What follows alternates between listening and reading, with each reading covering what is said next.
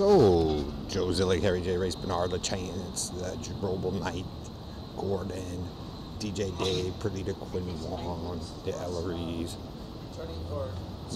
Negroes, um, Elman.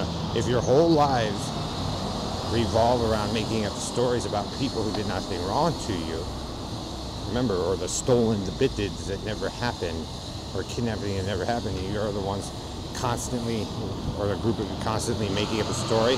Remember, the stories you make up about those people who did nothing wrong to you, those people end up owning you guys, not the other way around. And that's what your society will become. Is the group of you who made up a false story. Then you guys want to change your lifestyles, and it's a little bit harder. Perdita. So if you have a made up story about me, that's what your people will become, Dave.